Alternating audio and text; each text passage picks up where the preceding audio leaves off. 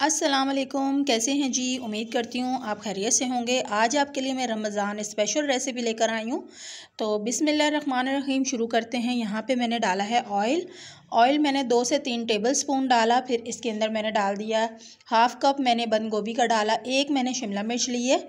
आप अपने टेस्ट के हिसाब से, जैसे कि आपको जितनी चाहिए क्वान्टिटी के हिसाब से भी आप कर सकते हैं। और यहाँ पर इसको मैं फ्राई करूँगी थोड़ा सा। बहुत ज़्यादा हमने इसको फ्राई नहीं करना, बस ऐसे ही करना है थोड़ा तेज़ आँच पे ताकि इसका कच्चापन हल्का हल्का ख़त्म हो जाए। बाकी इसका कलर या ये इसी तरह क्रंची रहे। हल्का सा फ्राई किया एक आध मिनट और उसके बाद मैंने गाजर डाल दी। एक बड़े साइज़ की गाजर थी ये और मैंने ये कद्दूकश किया और वो शामिल कर दिया। अब इसके अंदर स्पाइस जा रहे हैं। यहाँ पे लहसुन का पाउडर हाफ़ टी स्पून है।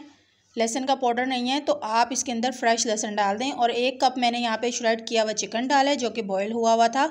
और अगर आपके पास लहसन का पाउडर नहीं है, जब मैंने ऑयल डाला था, उस टाइम आप दो से तीन जवे काट के लहसन डाल दें। हल्का सा सोते करें, फिर वेजिटेबल डालें।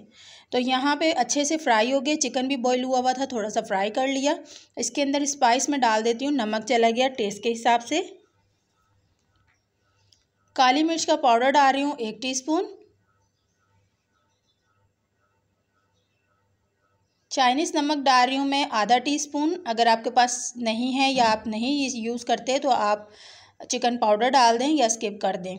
यहाँ पे एक टेबल स्पून मैंने चिली सॉस डाल दिया है, एक टेबल स्पून इसमें मैंने सोया सॉस डाल दिया और इसको जल्दी जल्दी से मिक्स करेंगे।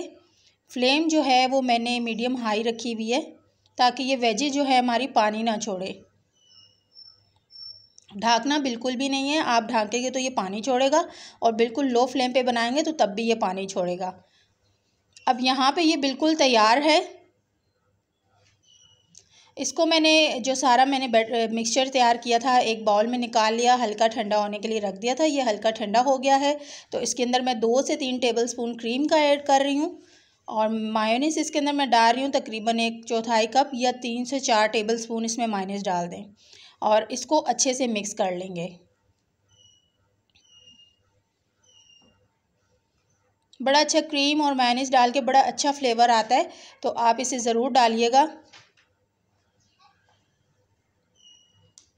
यहाँ पे एक बाउल लिया जिसमें एक कप मैंने मैदा लिया है और ब्रेड क्रम्स ले लिए हैं। मैदे के अंदर मैंने डाला था थोड़ा सा नमक। नमक डालना जो है वो मुझसे स्किप हुआ और आप नमक थोड़ा सा ज़रूर डाल दीजिएगा। यहाँ पे मैंने डाली है काली मिर्च। बिल्कुल थोड़ी सी तीन से चार पिंच ऐसे डाल दें और इसको अच्छे से मिक्स कर दें। थोड़ा सा फ्लेवर अच्छा आ जाएगा अगर आप काली मिर्च और नमक डाल देंगे। तो इसको थोड़ा थोड़ा पानी डाल के इसकी स्लैरी बना रही हूँ। बहुत ज़्यादा पतली भी नहीं होगी और बहुत ज़्यादा थिक भी नहीं नॉर्मल सी बनानी है। अब ब्रेड लिए। ब्रेड की स्लाइस के ऊपर मैंने जो मिक्सचर रेडी किया था, वो स्प्रेड किया अच्छे से।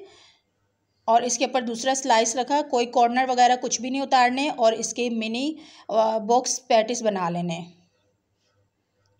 अगर आप बड़े बनाना चाहते हैं तो आप बड़े भी बना सकते हैं, लेकिन इफ़ार के लिए मिनी बहुत अच्छे रहते हैं कि एक एक एक उठा के जितना है कि वो खा ले। यहाँ पे जी, अब इसको मैं सेट कर रही हूँ, जो साइड से वेजिटेबल निकली होंगी उसको अच्छे से सेट करेंगे। ये जो मिक्सचर है मिक्सचर के अंदर डिप करेंगे और इसके ऊपर ब्रेड क्रम लगा देंगे। अच्छे से ब्रेड क्रम लगाना है, इसके चारों कोनों में सही से पैक करना है।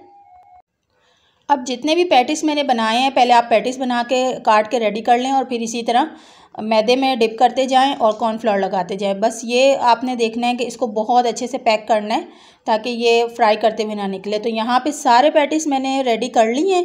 अब इनको फ्रीज़ करने का भी तरीका मैं आपको बता देती हूँ। कोई भी आप एयरटाइट जार ले लें बॉक्स ले लें और इसके अंदर सबसे पहले पैटिस डालेंगे और उसके ऊपर आप क्लिंग रैप पे मेरे पास मैं ये लगा रही हूँ। आपके पास बटर पेपर हो वो लगा दें। कोई भी चीज़ आप इसके ऊपर पहले रख दें। अच्छे से इसको साइडों से भी और फिर इसके ऊपर दूसरे जो पैटिस हैं, ये रखूँगी।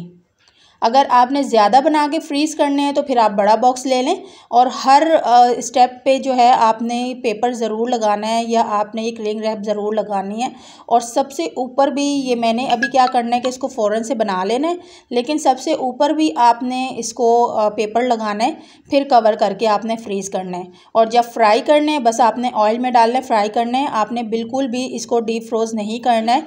बस मीडियम आँच पर उस टाइम आपने फ्राई करना है, ताकि अंदर तक ये फ्राई हो जाए। अब जो मैंने फ्राई करने थे ऑयल गर्म होने के लिए रखा हुआ था और इनको मैं फ्राई कर रही हूँ। जब तक एक साइड अच्छी, हल्के सा कलर ना आ जाए क्रिस्पी ना हो जाए, आपने चेंज नहीं करनी, ना ही आपने चम्मच चलाना है। तो यहाँ पे देखें, अब बहुत अच्छा नीचे से ज़रा फ्राई हो गया कलर हल्का हल्का सा आने लग गया अब मैं इसको चेंज कर रही हूँ। अब ना ये टूटेंगे, ना बिखरेंगे, बड़े अच्छे क्रिस्पी से ये फ्राई होंगे। आपकी मर्ज़ी आप डीप फ्राई करें, आप इस तरह करें, लेकिन बड़े अच्छे से कलर आ चुका है इसका। और अब इसको मैं निकाल लेती हूँ, यहाँ पे ये फ्राई हो चुके हैं। बहुत मज़े के लगते हैं, आप इसको ट्राई करना, बहुत मज़े के लगते हैं ये। फ्राई हो चुके हैं। अब मैंने इनको निकाल लिया है। इसी तरह मैं और फ्राई कर लूँगी और प्लेट सर्व करती हूँ। तो यहाँ पे जी सर्व कर लिए हैं मैंने। पैटिस, बहुत अच्छे ब्रेड पैटिस बने हैं। आप खाली वेजिटेबल से बना सकते हैं, आप खाली चिकन से बना सकते हैं, आप मिक्स बना सकते हैं। बहुत से तरीके हैं बनाने के, आप बना सकते हैं। और यहाँ पे जी ये देखें, तोड़ के मैंने आपको दिखाया है और उम्मीद है आप इसको अफ्तार में ज़रूर बनाएँगे। आपके दस्तरखान में बहुत अच्छा लगेगा। तो इजाज़त चाहती हूँ। अल्लाह हाफिज़।